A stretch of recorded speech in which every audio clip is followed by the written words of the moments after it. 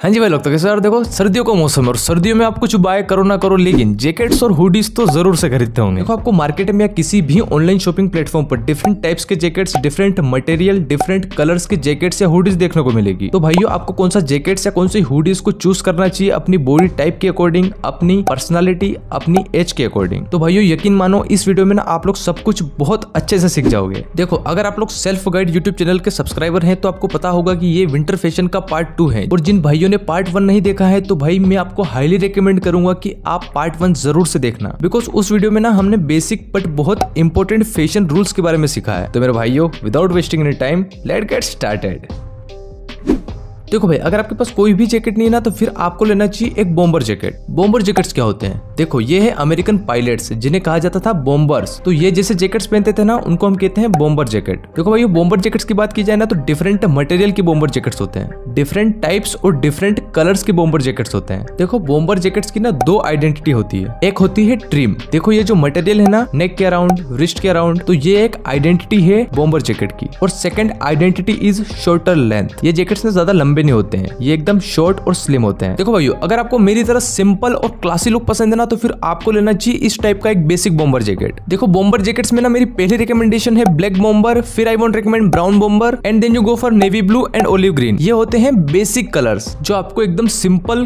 Classy और थोड़ा mature look देते हैं। देखो भाइयों इंडिया में ना सबसे बड़ी प्रॉब्लम है साइजेस की। साइजेस ना बहुत लिमिटेड है इस देश में, क्योंकि हमें बस स्मॉल मीडियम और लार्ज साइज़ मिलती है। अगर हम बात करें अमेरिका की, यूरोप की तो आपको ना वहाँ पर बहुत सारी साइजेस मिलती है। जैसे कि small small medium medium medium large ऐसे बहुत सारी साइजेस मिलती है। देखो, अगर आपको इंडिया में परफेक्ट साइज़ का जैकेट लेना है ना तो आपको दो चीज़ों पर फोकस करना है। पहला है, आपके जैकेट की स्लीव्स आपकी कलाई पर एंड होनी चाहिए, ना कलाई से ज़्यादा आगे, ना पीछे। दूसरा है, आपके जैकेट की जिप लगाने के बाद आपको ये नोटिस करना है कि आपकी जैकेट आप पर एकदम फिट आनी चाहिए। या जैकेट थोड़ी सी टाइट होगी तो भी चलेगा। कोई प्रॉब्लम नहीं है मेरे भाई। देखो, अगर आप एक मोटे बंदे हो ना तो फिर आप पर बॉम्बर जैकेट उतना सही नहीं लगेगा। लेकिन अगर आप एक पतले बंदे हो या फिर मेरी तरह जिम जाने वाले बंदे हो तो भाई बॉम्बर जैकेट आप पर बहुत तगड़ा लगेगा। देखो भाई बॉम्बर जैकेट्स में ना ऐसे बीच में जिप लगी होती है बट ऐसे भी जैकेट्स आते हैं जिनमें बीच में ऐसे बटन्स लगे होते हैं, उन्हें हम कहते हैं वार सिटी जैकेट्स ये जैकेट्स ना आपको थोड़ा यंग लुक देते हैं। देखो, अगर आप एक कॉलेज जाने वाले बंदे हो ना तो आप डेफिनेटली वार सिटी जैकेट्स पहन सकते हो। ये जैकेट्स आपको काफ़ी स्टाइलिश दिखाएगा।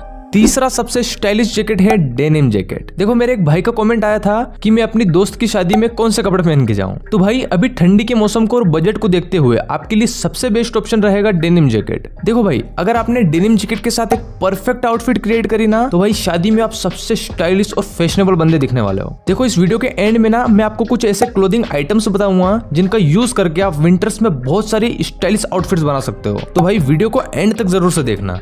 देखो भाई डेनिम जैकेट्स में ना आपको ज़्यादा अतरंगी कलर्स नहीं लेने चाहिए। देखो भाई, मेरी मानो तो आपको डेनिम जैकेट्स में बस दो कलर्स लेने चाहिए। पहला है black and second sky blue इस टाइप का डेनिम जैकेट बस भाई, ये दो कलर्स बहुत है आपको सुपर स्टाइलिश दिखाने के लिए। और डेनिम जैकेट लेते टाइम आप ये मेक श्योर करें कि जैकेट आपकी बॉडी पर परफेक्टली फिट आना चाहिए। देखो, अगर आप एक मोटे बंदे हो ना तो ये जैकेट भी आप पर सही नहीं लगेगा। देखो, जितने भी मोटे बंदे मेरी वीडियो देख रहे हैं, मैं उन सबसे कहना चाहूँगा की भाई प्लीज़ स्टाइलिश दिखने पर नहीं, अपने वेट लॉस पर फोकस करो। अगर आपने मेहनत करके थोड़ा सा वेट लॉस कर लिया ना तो आप पर सारे कपड़े काफ़ी सही दिखेंगे। भाई, ये वीडियो अच्छी लग रही हो तो वीडियो को एक लाइक ज़रूर से कर देना यार। और अगर आप चाहते हो कि जिस तरह से आप इस चैनल पर फ़ैशन के बारे में सीख रहे हो, ठीक उसी तरह से फिटनेस यानी कि वेट लॉस वेट गेन के बारे में सीखो तो भाई कमेंट में बस यस लिख देना, मैं समझ जाऊँगा। अगर भाई बहुत सारे कॉमेंट्स आए तो हम इस चैनल पर बहुत जल्दी फिटनेस सीरीज़ भी स्टार्ट करेंगे। और जिन भाइयों ने अभी तक चैनल सब्सक्राइब नहीं किया है तो भाई चैनल को सब्सक्राइब ज़रूर से कर देना। चलिए, आगे बढ़ते हैं। चलो, अब बात करते हैं लेदर जैकेट की। देखो, अगर आप एक लेदर जैकेट खरीद रहे हो ना तो आपको कुछ रूल्स फॉलो करने होते हैं। Rule number one, test for real leather. देखो, अगर आप एक रियल लेदर का जैकेट खरीद रहे हो ना तो उसकी मिनिमम कॉस्ट होगी दो हज़ार से लेके तीन हज़ार तक। तो आपको रियल लेदर का टेस्ट कैसे करना है? देखो, जब आप लेदर को प्रेस करोगे मतलब की लेदर को दबाओगे तो उस पर ऐसे क्रीजेस आ जाएँगे। पर जैसे ही आपने उंगली वहाँ से हटाई, आपने वो प्रेस हटाया तो वो लेदर फिर से अपनी शेप मेंटेन कर लेगा। वो होता है असली लेदर। दूसरा एक और तरीका है की जब आप लेदर को जला रहे होते हो तो अगर 30 सेकंड तक वो लेदर नहीं जला तो that is a real leather चलो, ये तो हो गया रियल लेदर का टेस्ट अब बात कर लेते हैं फ़ैशन रूल के बारे में. देखो, मेरे हिसाब से आपको लेदर जैकेट में बस दो कलर्स लेने चाहिए ब्लैक एंड ब्राउन देखो, मेरा ये भी मानना है कि आपके जैकेट का कॉलर जितना बड़ा होगा मतलब की जितना आई कैचिंग होगा ना, उतना ज़्यादा हाई पर्सनालिटी होगा आपका जैकेट इसलिए depending on your personality buy your leather jacket देखो, अगर आप एक लंबे चौड़े, एकदम रॉयल बंदे हो, आपकी बॉडी है, तब मेरे हिसाब से आपको इस टाइप के बड़े कॉलर वाले जैकेट पहनने चाहिए, जिनको हम कहते हैं बाइकर लेदर जैकेट और अगर आप एक एवरेज बंदे हो मतलब कि आपको ज़्यादा तड़क भड़क दिखना पसंद नहीं है, तब आप इस टाइप के सिंपल लेदर जैकेट पहन सकते हो। ये जैकेट भी बहुत स्टाइलिश दिखते हैं। चलो फाइनली अब हम बात करते हैं हुडीज के बारे में। देखो हुडीज भी कई प्रकार की होती है। आप कोई भी हुडी खरीदो, आपको ये बेसिक रूल को फॉलो करना है। सबसे पहले आपको ध्यान रखना है कि आपकी हुडीज पर ज़्यादा पैटर्न्स नहीं होने चाहिए। हुडी एकदम प्लेन सिंपल और बेसिक कलर की होनी चाहिए।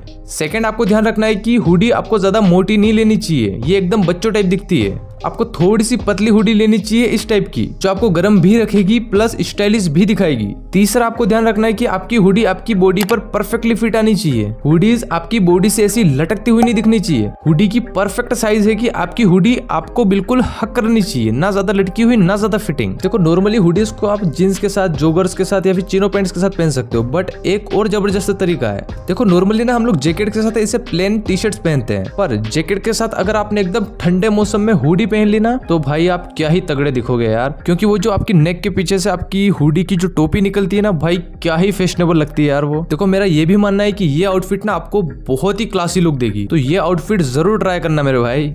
चलो, अब बात करते हैं कुछ ऐसे क्लोथिंग आइटम्स के बारे में जिनका यूज़ करके आप बहुत सारे आउटफिट्स बना पाओगे। पहला है एक प्लेन ब्लैक जींस और सेकंड है व्हाइट कलर और ब्लैक कलर के हाफ़ स्लीव वाले टी शर्ट भाई, ये दो टी शर्ट तो ज़रूर से होने चाहिए आपके पास। बहुत सस्ते मिलते हैं यार, ढाई सौ, तीन सौ रुपए में मिल जाएँगे। चलो, अब आप ये समझ लो की आउटफिट कैसे बनानी है। देखो, आपने ब्लैक जींस पहन ली, ऊपर व्हाइट टी शर्ट पहन लिया। अब भाई, ये व्हाइट टी शर्ट के ऊपर आप कुछ भी पहन सकते हो। कुछ भी से मेरा मतलब है की आप लोग ब्लैक कलर का डेनिम जैकेट भी पहन सकते हो स्काई ब्लू कलर का डेनिम जैकेट भी पहन सकते हो या फिर कोई डेनिम शर्ट की लेयरिंग भी कर सकते हो। बस आपको इस बात का ध्यान रखना है कि आपको ये आउटफिट्स में हमेशा नीचे व्हाइट कलर के शूज़ ही पहनना है। आप व्हाइट कलर के स्निकर्स पहन सकते हो भाई, बहुत तगड़ी आउटफिट है ये। और अभी के टाइम पे विंटर्स की शादियों के लिए ये outfit one of the best outfit है। और जो लोग अभी भी शादियों में स्पोर्ट्स शूज़ पहन के जाते हैं तो भाई 400 500 रुपए के स्निकर आते हैं यार, वो ले लो। क्यों पूरी आउटफिट की बारह बजाते हो यार? गजब बेइज्जती है। सारे क्लोथिंग आइटम्स की बेस्ट लिंक डिस्क्रिप्शन में आपको मिल जाएगी। वहाँ पे जाके आप इनको इजीली परचेस कर सकते हो।